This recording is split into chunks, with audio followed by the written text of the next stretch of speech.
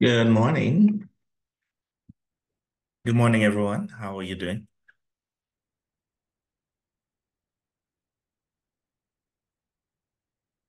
Let me just welcome you to our What's Next International Student webinar and um, hope that you're all doing well. All right, so I'm sure you can hear me. I see Richard responding, so that's great. All right, so we're gonna share some bits with you this morning. It's probably evening where you are. And um, so we're gonna go right into this webinar this morning.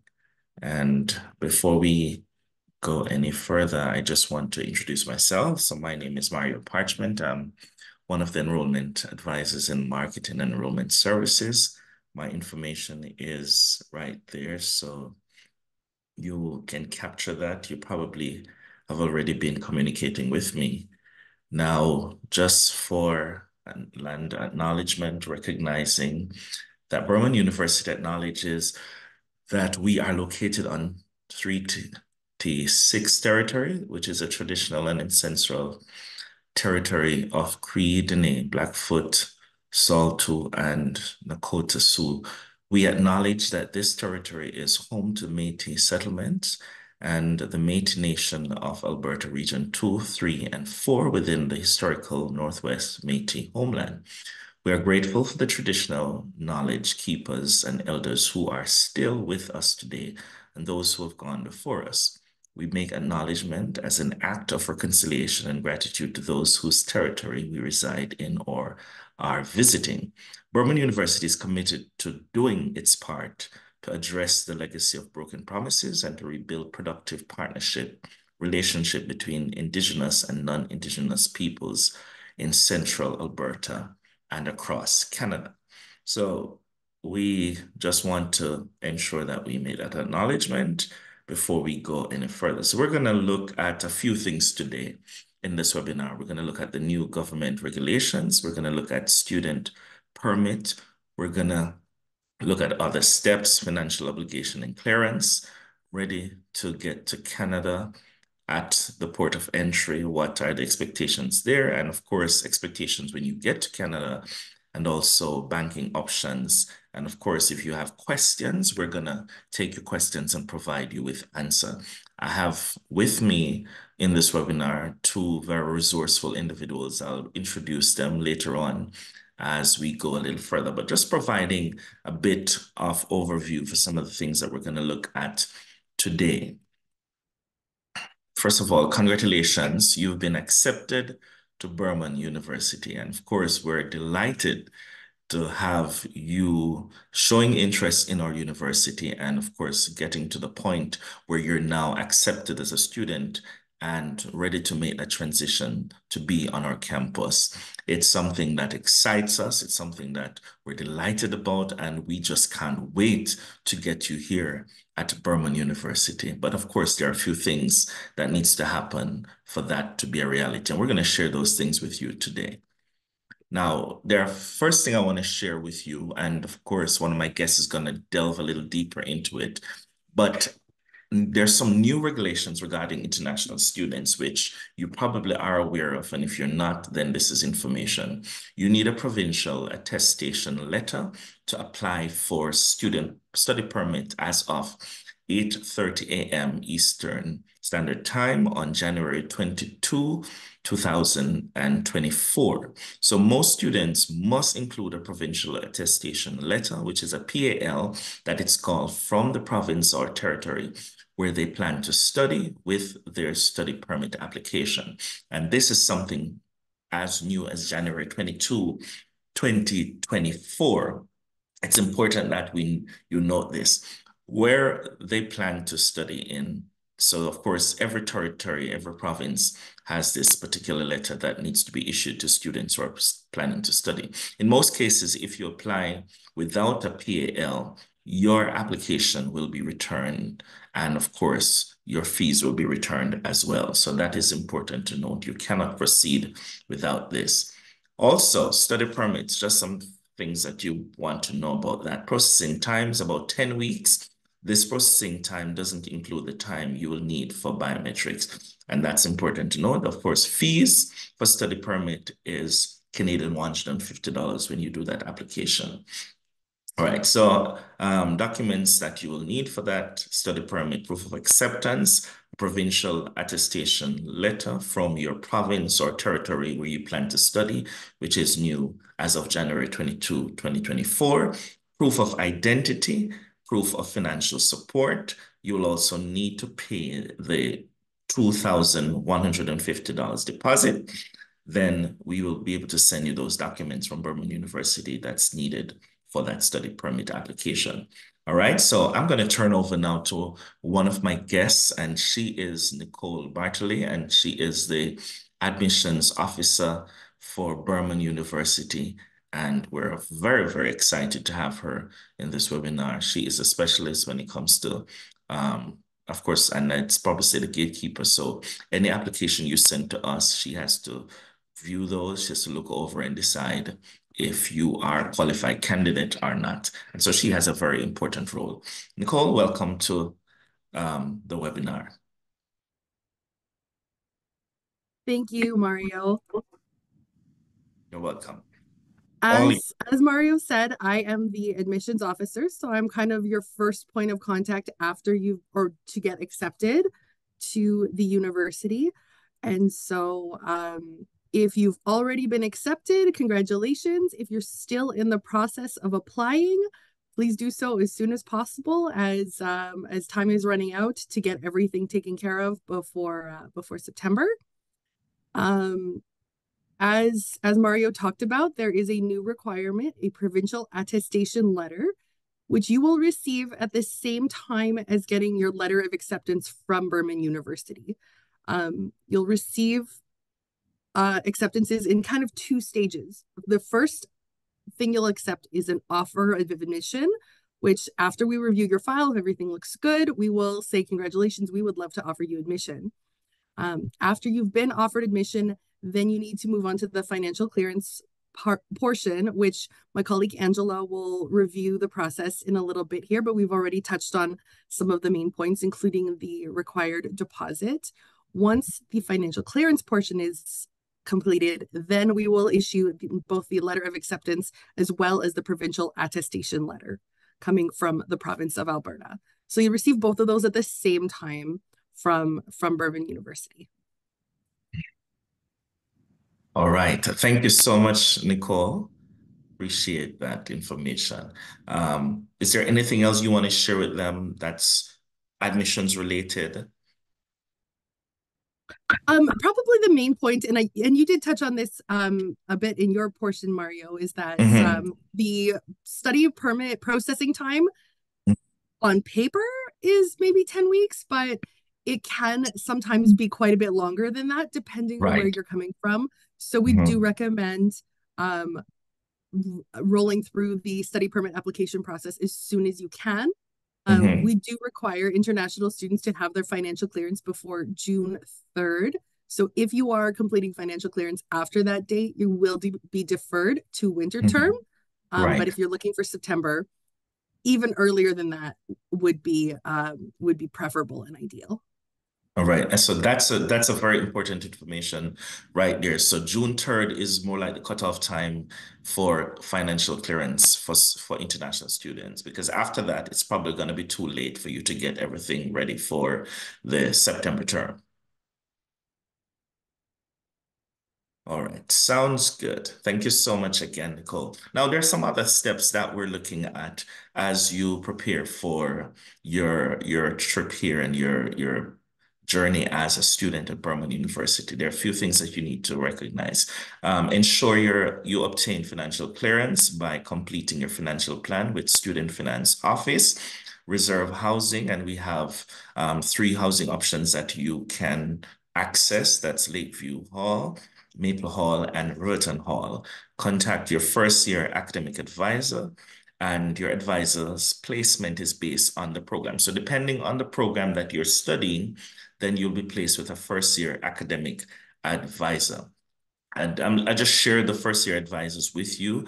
Um, if you are in any of these programs, and these are the people that you're going to be contacting and who will be reaching out to you actually to ensure that you are on your way and your classes are ready for you to um, be involved in the academic life of Burman University. So for those students who are studying biology, general science, open, um, open studies, science, um, psychology, wellness, um, certificate in health science, which is part of our nursing program partnership with Kettering College, then you will have as your first year advisor, Bonita Campbell, and she is the first year advisor in the Faculty of Science. So if you need, if you're in that particular department, this is her information. You can capture that really quickly and ensure that you have some dialogue with her once you're on your way with your um, application and processing for um, student um, study permit and all of those things, you're well on your way, then it's time to make those connections and ensure that your classes are well aligned for you here at Burman University. Now, for those students who are doing behavioral science, general arts, international health and wellness studies, um, international studies, music, open studies, art, um, outdoor leadership, then your first year academic advisor is Trina Huskin, and she is from the Faculty of Arts and Social Sciences. And of course, that's her information. So if you're doing any of those courses, then this is a person who's going to provide you some direction and guidance as you seek to make your way to Burman University.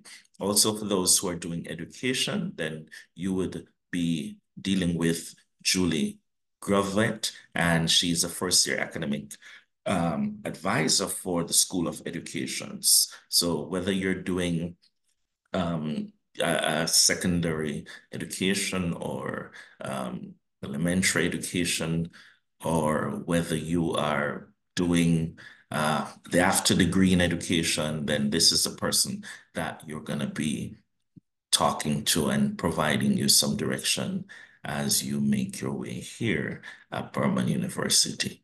And for those of you who are in business, then your first year academic advisor is Elmira Hodder, and she is the person that's going to provide you all the information that you need to get you set up with those classes as well.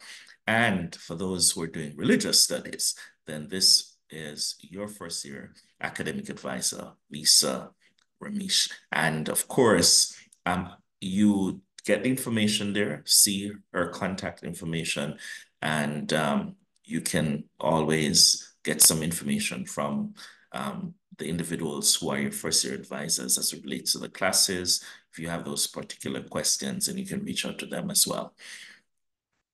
All right, now other next steps, of course, when you login credentials are important. Receiving an email from Burman University from the IT ticket at burmanuniversity.ca. This will outline how to gain access to your student portal, which is very important. Everything is going to be operating from your student portal and D2L.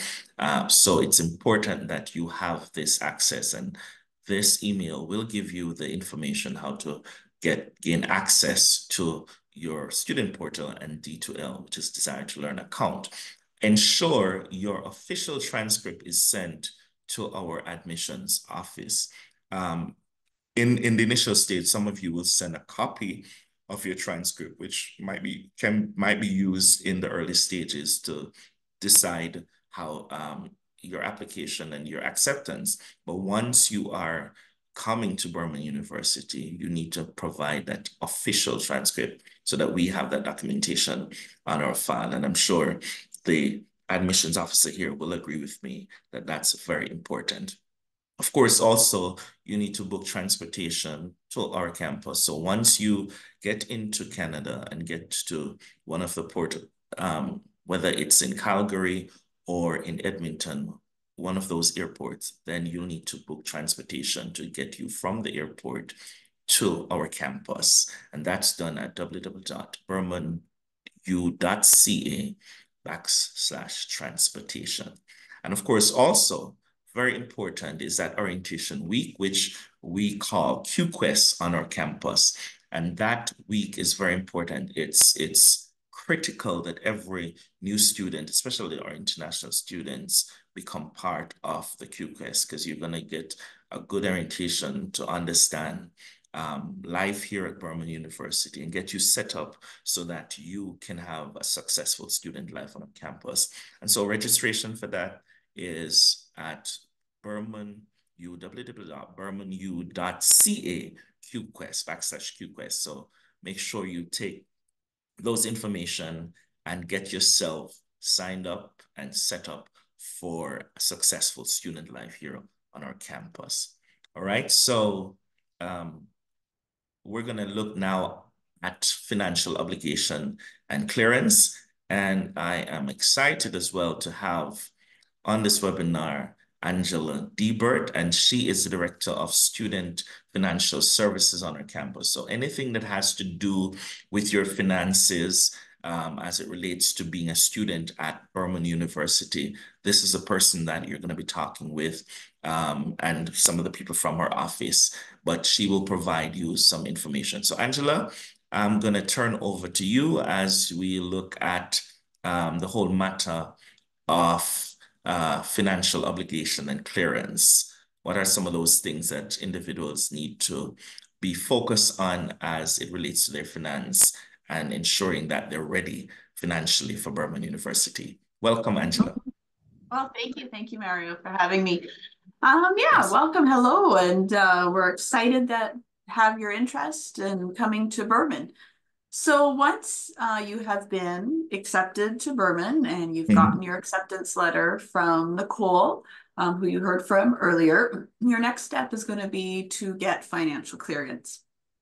So you will have received a link in your communications on your acceptance um, that says it is your spending plan request um, form that you fill out. So you're going to click on that link and you're going to give us some information. You're going to tell us what your program of study is. You're going to tell us um, where you're wanting to live. You're going to tell us um, if you're going to be needing that transportation that Mario just talked about booking and, and just some of those other things. And with that information, we then work on giving you a very um, specific to your program and to you a spending plan estimate that will give you an idea of what your fees will look like for the upcoming school year.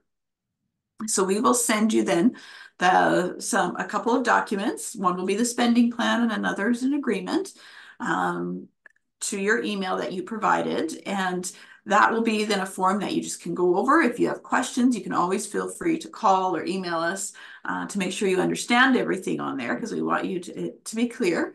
And then once we get those signed documents back um, from you, we'll be looking for that down payment of 2,150 Canadian. That is in Canadian dollars. And a part of the information that we'll be sending you is also the link. We do work with a company that takes international payments called Pay My Tuition. So I will be sending you a link that you can go in and you can make your payment. Once we have received that down payment and all your signed documents, I release your financial information back to Nicole uh, Bartley in admissions so that she can then work on the required letters that you are going to be needing to apply for that study permit. So that will kind of be what gets you into the country.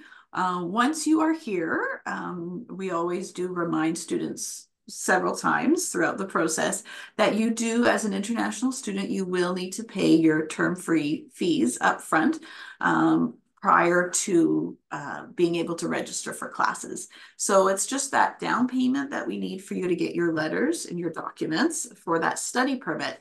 But you're also going to um, be ready to needing to have those funds needed for the upcoming school year so that you can pay. And once we receive um, that payment and you're on campus, you are able to register. You can certainly talk with beforehand each of the advisors that Mario went through, um, and you can map out, you can plan what classes you're wanting to take, but you won't be able to actually register for them until we've received that payment um, in full. But our office, you have our contact information. Our office is open all throughout the year. Um, so you can feel free to contact us anytime with questions that you have about that. Of course, one of the big questions that we always get up front is, is there some scholarships available um, for international students? And we do have some scholarships available. Um, and so uh, with that information that I'll be sending you, um, we will send you the link so you can look at, um, we do have an international student scholarship that you are eligible for and can apply for, as well as there'll be um, some scholarships that you can potentially be eligible for for your second third, and fourth year study at Burman. So we will send you um, all the those details once you uh, submit your form so that we can send you the financial spending plan. Thank you. Thank you so much, Angela. Appreciate that uh, mm -hmm. information. And there's a new international student scholarship as well. Yeah, the International Student Scholarship. Yeah, the 1500. Right. Right. Mm-hmm. So that's something to note that there is always support here at Burman. We provide, uh, we we charge you, but then we provide financial support to help you to make it happen. So it's important to note that. Appreciate it. Thank you so much. Um, we're gonna move on. So there's some other things that you will need to do and to be ready to travel to Canada. So ensure you have the following. One, you need to have your passport. And I'm aware that some people it's at this time that they actually get a passport because sometimes they've never traveled before. So you need a passport to enter Canada. You need to get your student visa. You need to also get confirmation from immigration. You need to have your biometrics done, proof of vaccination, copy of your birth certificate, and any other supporting documents. And that's important to note because whatever those supporting documents are that you will be receiving from the university and from um, all the different agencies that you're working with to ensure that you get in, then all those documents that are going to prove your point, you need to take them along with you when you're coming. Very important. Also, um, study permits will be issued at the port of entry when you arrive. Now, you need to have all the relevant doc documentation, as I mentioned earlier, processing time can take from about 30 minutes to a few hours. And so it depends on how many questions you're going to be asked and what whoever what what that that interaction looks like. So it can be quick and it can be long. But what you need to note is that sometimes because of how lengthy this process is your connecting flight, you might actually miss your connecting flight. So what you need to do is ensure that you contact your airline information desk in the airport, have some dialogue with them, and they will get you situated on another flight to ensure that you get to the university once that process is complete. All right. And of course, ask questions. If you don't know, it doesn't hurt to ask question and get the information. So if there's anything that you're uncertain about while you are traveling and in that process, ask the relevant people who you are relating to and those who are interacting with you in this process to get you through the port of entry. Ask them the questions so that you can be clear as to what you your expectations are. And um, if there's any um, ambiguity in anything, then you can get some clarity on that. All right, so it's very important for that. Also, what is it that I need to bring or what do I need to get here? There are a few things that you need to focus on. So bring your clothes, of course. Special care products, if you are on any medication, ensure that you have at least a month or two months supply when you're coming. Um, you know, it's important. You will have to apply for Alberta Health when you get here, but those things take time. So you want to make sure that you bring your medication with you, um, toiletries, um, things that remind you of home. So any little photo frames or pictures, and you can always get the photo frames here, but take your pictures and little things that just remind you of your homeland, um, maybe souvenirs or, you know, your country apparel, national apparel and those things, because sometimes we do have cultural days here and cultural celebrations and, um, you know, cultural Sabbaths. So of course, it's always good to take those things because you're not going to find most of those things here in Canada. Um, things that you can get here, of course, winter jackets. Um, Canada is is uh, a snow country, so you will have snow, you will have winter, and of course, you need to take ensure that you you can get those winter jackets here, and of and more than likely it's going to be a, a better cost than if you try to get them there. And in some some countries outside of North America where it's sunny all the time, you're probably not even going to be able to get a winter jacket there. So you buy them here. Um, get your winter boots here. Your books for school, important, you can get those here. Um, important to note that there are students who would have done the class before you, and a number of students sell their books at the end of using them the previous semester. So you can actually get the books pretty cheaper um, once you get here. So it's important to know that as well. Room items, things that you're going to need for your room, like curtains and uh, what whatever you need to fix your room up. Um, you need like hangers and those things. You're not going to walk, bring hangers in your suitcase because you can only carry so much. So those are things that you will get when you're here. Um, the rooms are allowed a small fridge. So if you need a fridge, um, you can buy that when you get here as well. And again, there are students who would have had before who might be graduating. So some of those students are actually selling and sometimes those are available from the dorm as well. So you can access those um, from getting them here. Microwave is also an option for you if you need a microwave in your room. And those are the only things that are allowed in the room. So you can get a microwave as well. Now, expectations in Canada, let's look at that. Um, 18 or older is considered age of majority in Canada. You're an adult at that age. So it's important to note that you, a lot of things that will happen, you will be responsible for yourself as it relates because you're seen as an adult. It's very important. So once you get here, you're going to make sure you operate within the confines of the Canadian law so that you you will be in good standing. Also, Alberta, Canada might be colder than you anticipate. It gets cold sometimes. There are uh, 40 degrees, uh, minus 40 degrees weather and 30 degrees weather from time to time. But of course, so you need to be aware of that. Understand that this is a cold place. And once you prepare yourself, get proper winter clothing and that kind of thing, you shall be fine. We are here and we love it. There are no public transportation system in Lacombe. So However, there is a private taxi service and shuttle service provided by the university. And this is important to note. So if you need to get into the town and get around, you there are taxi, private taxi services that are available. And there are times when the university provides shuttle services for students to go into town and get things that they need to purchase in Lacombe area. So there is a provision that's being made for you as students on our campus you will need to sign up for an account with a Canadian financial institution.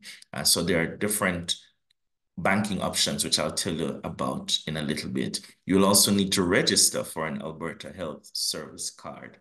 Um, for you to do any kind of access any kind of health services, whether walk-in clinics or the hospital, you need an Alberta Health Service card to be able to do that, make that access. Once you have that, you're good to go. And that application you will do, it takes about six weeks, I believe, to get that back. So you will need to do that once you arrive. And of course, during QQuest, all of those things are dealt with when you get to that orientation week on our campus, which is why it's important that you are here for that orientation week because all of these things that you will need to get you situated as a student at Burman University will be happening at that time.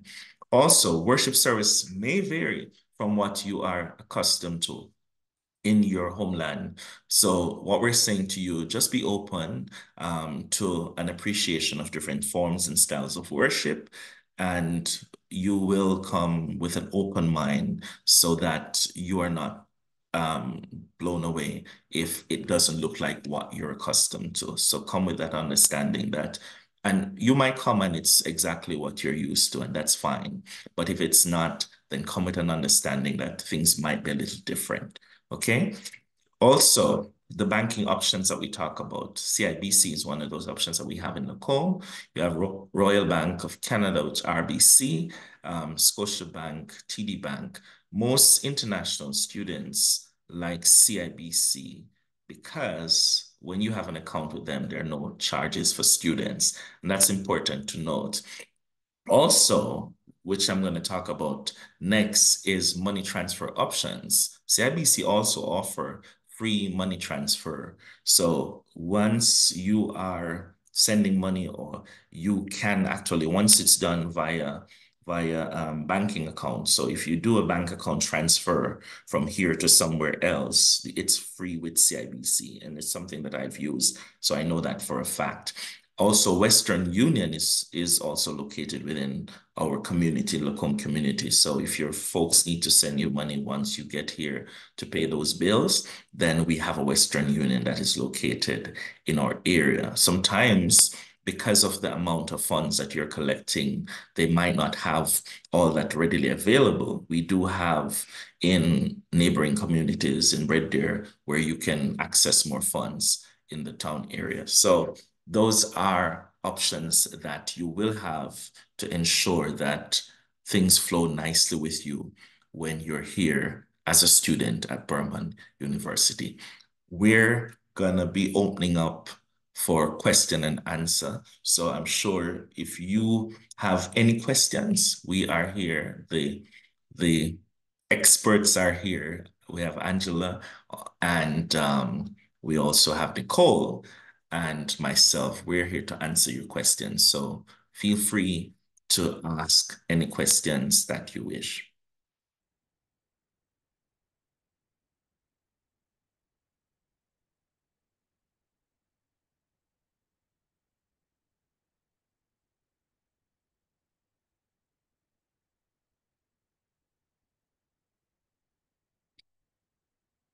All right. All right, so Nicole?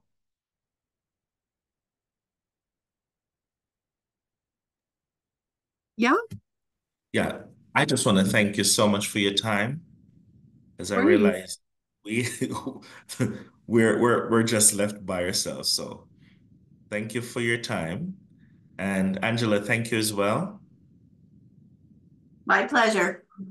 All right. I don't know if there's anything else you wanted to drop in there.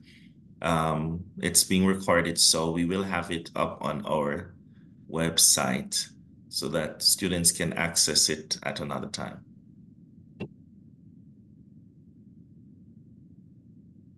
I think I'm good. Mm -hmm. Okay, so we're good. Um, okay, so we, we would have covered most things, eh? Mm -hmm. All right. Thank you so much. Um, you have an awesome day. And you too. All right.